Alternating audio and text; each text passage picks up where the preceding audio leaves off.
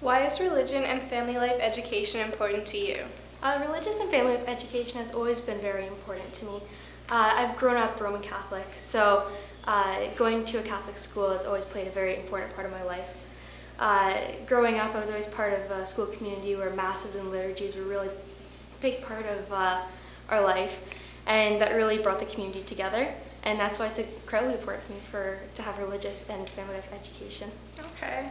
Um, how has this course deepened your faith or changed your perspective? Uh, this course has definitely changed my perspective in a lot of ways. Um, I find that uh, it's just especially broadened my perspective, and I found a lot with our volunteer hours. We had to do 15 volunteer hours, and uh, that really changed my perspective and how why I volunteer and what I volunteer with. So I volunteered at a senior center, and that really um, just changed my perspective, and it really allowed me to see how I can help people in different ways using my talents.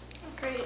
Um, why would you recommend this course to another student? I think this course is incredibly important. Um, even for students that maybe didn't go to uh, Catholic school when they were younger, even just students that went through uh, the grade, the high school uh, religion courses, it just brings it all together and you learn a lot in the other courses and this final course just allows you to kind of explore uh, how you want to live, live your life and your faith. Yeah, for sure.